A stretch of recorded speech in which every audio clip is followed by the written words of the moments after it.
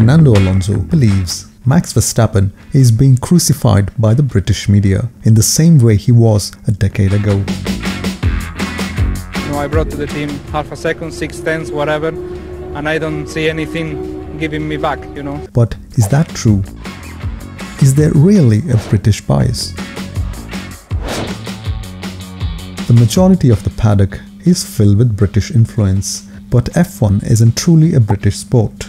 It's governed by the FIA, which is an international organization based in France, run by an American mass media company that has huge plans of making it popular in the US by making television programs and increasing the number of races in the country. While the sport's traditional home is Europe, with over 60% of the races held in the region. The championship has had presence all over the world and new locations are being explored in a bid to make as much money from the oil-rich countries.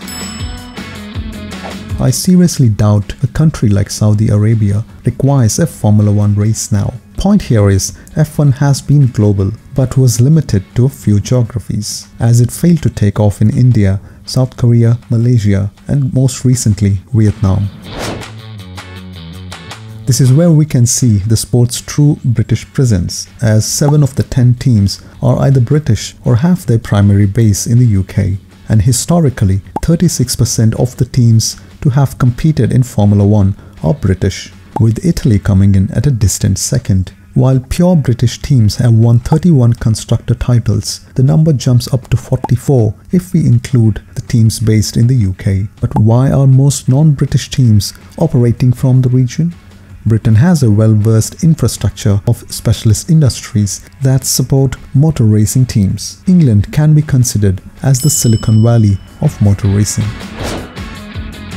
Traditionally, the British media has always been savage and has been brutal when it comes to criticizing athletes. Following the British Grand Prix, most of the so-called pundits claimed it to be a racing incident, and some even went as far as I think Max was at fault. I think. Honestly, mate, what a joke. You don't need to be an expert or a racing driver to see that Hamilton is clearly at fault. But majority of the British media played it safe by dismissing it as a racing incident. Although Alonso himself has been fierce many times, there is a fair point that he's making here.